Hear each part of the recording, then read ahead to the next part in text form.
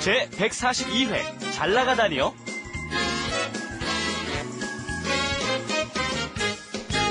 안녕하세요. Hello everyone and welcome to Let's Speak Korean. I'm your host Lisa Kelly and welcome once again. All right, let me introduce you to our teacher. Hi. Hi, I'm going to help you guys out a little bit. My name's Stephen Revere. 안녕하세요. And today we're going to talk about Lisa, the last episode, Lisa was talking about introducing me to a young lady.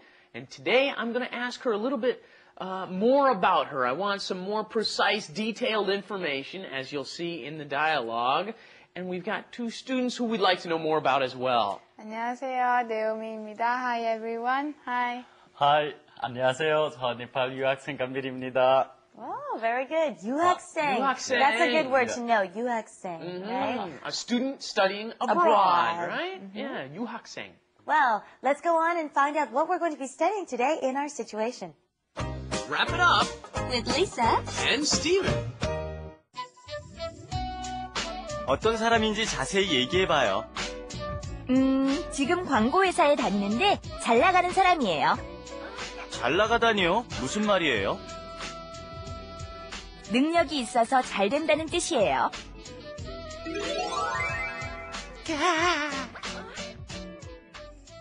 Okay, last time we were talking about how I was going to introduce a very uh, good-looking person to Steve here, and today we're following through with that dialogue. And I don't know if you understood what we were saying, but we're talking about someone who has everything going for them. Talented, good-looking. I'll stop describing myself. Okay. Anyways, all right. We call this sort of we call this sort of person uh, a particular name here in Korea, and uh, Steve's got some uh, stuff there in front of him to help you along. In the woman's case, it's the kinka. Okay, it's not queen card, but we don't pronounce it like that, right? Well, yeah, it comes from originally exactly what happened was in the from 60s and 70s, cards were very popular. Okay, people were playing a lot of uh, the Western style cards, and the uh, in the meetings, people would talk about the queen and the king, and they would talk about them in this way. They would say the queen ka and the king ka. So, a beautiful, good-looking. So we've got our. Here we go, right here. there's I a mean, we've king got it ka right there. and there's a Alright, king ka. okay. There you go. Yay! All right, let's go into our dialogue. Okay, first line is Stephen says he's really curious. He wants to know what kind of person is it? Tell me about them. 어떤 사람인지 자세히 얘기해봐. 자세히 means in detail. Stephen. This ending inji is added on to a noun, right? With the noun, you have to put the inji, okay? So only when it's a noun though, when it's a verb, you use this, this G in other ways, but here it's a noun. 자세히 means in detail, okay? 자세히, right? 자세한. Originally this comes from 자세하다, right? But here they're turning it into an adjective. Tell me in detail, okay? 자세히 얘기해봐. Actually, be an adverb, wouldn't it? Don't ru- ru- put anything up on the website. I know it's an adverb, okay? 자세히 얘기해봐. Let's try repeating that. 어떤 사람인지 자세히 얘기해봐. 어떤 사람인지 자세히 얘기해봐. Very nice. 어떤 사람인지 자세히 얘기해봐. And Very how good. else could we use this inji? What else could you ask about? You could ask about, how about a school? How would you, how would you ask about a school? What kind of school is it? 어떤 학교인지 얘기해봐. 음, 어떤 학교인지 얘기해봐, right? 어떤 얘기. Yeah. Or how about a business? What's a business? 아, 어떤 사업인지. Okay. Oh, 아, 예. good. 아하. 어떤 사업인지 얘기해봐. Very Nice. And then so she's going to respond. She says, mm, she's thinking.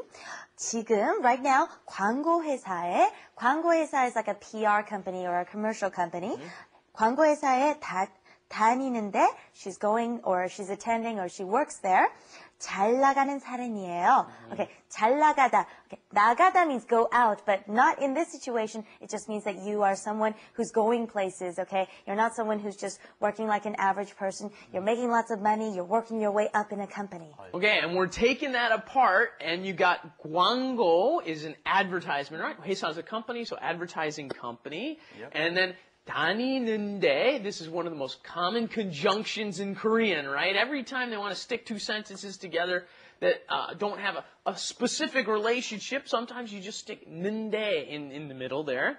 And 잘 나가는 사람이에요. And this is rather uh, uh, someone who's a mover and shaker, someone who's really accomplishing a lot of things. They say they go out well, right? Right. 잘 나가는 사람이에요.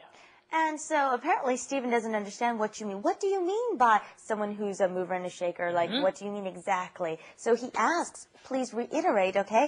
잘 나가다니요? Okay, what do you mean? 무슨 말이에요? Okay, please tell me more. Sure. This Dani ending, okay, the polite form adding on the yo. We've had something similar to this. You- What is going on here? You're surprised, okay? You're surprised at what was just said. Or in this case, you don't quite understand what was just said. It's one of those two things. Or it could be very doubtful. You don't believe or trust what was just said. So in this case, you say, oh, 잘 나가다니요. What are you talking about? In, th- in this case, I don't understand what she's saying. So I say, and those of you who are just starting Korean, practice this one. 무슨 말이에요? Okay, so Lisa explains, okay, what I mean by 잘 나가다 is, okay, 능력이 있어서 잘 된다는 뜻이에요. Ah, so that's what she means. Okay, she has lots of talent, so she has lots of capabilities. So let's practice that sentence ending though before we move on too Okay. far. Let's say somebody tells you Korean is really difficult. Oh, 한국말이 어려워요. But you don't think so. it is. I know. I know. Let's just, 어렵다니요? let's just pretend for a minute. Okay. What, what, what would you say? 한국말이 어려워요. What do you mean? 어렵다니. 어렵다니. 아. 어렵다니요. Okay, I think they got it. Yes, very good. And I think it's time for us to get a little insight into Korea. Okay. Korean insight. All right, a useful expression to know here in that situation, we're introducing this lovely girl to Stephen who's got everything going for her. Not only is she beautiful, but she's got a lot of capabilities talent. and talent, mm. right? She's got lots of things going for her. It's just the icing on the cake, okay? In this situation, we'd call it Kum Sang Cham Hua. Mm-hmm. Oh, it's too Korean. difficult for us. Chinese characters are very difficult, but they can also be very useful. And I prepared something to help you out here today. Look at this. We had the word nungyok today, didn't we? That yok there, that is himyok. Him means strength, okay? Uh -huh. As they had, Isn't yeah, look at that, that, that's me. No, just kidding, that's not me. anyway, uh, we've got the muscle-bound guy showing the strength there, right? Well, look over here, we've got 능력, which means ability or talent, right? So once you know what that yuk means, the original, then you can also learn about yucky, which also, now, one thing you want to notice is that the at the beginning gets dropped from the beginning. If it's in the uh-huh. beginning of a word in Korean, that just gets dropped. So that's why it says yuk, but it's the same Chinese character, okay? So what's going on here? You've got the same meanings. This means weights, okay? 역기 들다, you're lifting up weights, okay? Okay, we want to remember the two main grammar points or the two patterns that you should have in mind as we finish today, which was the inji and the 단이요. Mm, yeah, we had what 어떤 사람인지, what kind of person he or she is, right? And then we had attached on to the verb 잘 나가다니요, 다니. Okay, you only attach verbs to 다니. Okay, so 잘 나가다니. What does that mean? 잘 나가다니요. And here you go. You get to watch it all again on our flash animation. 어떤 사람인지 자세히 얘기해봐요. 음, 지금 광고회사에 다니는데 잘 나가는 사람이에요. 잘 나가다니요? 무슨 말이에요? 능력이 있어서 잘 된다는 뜻이에요.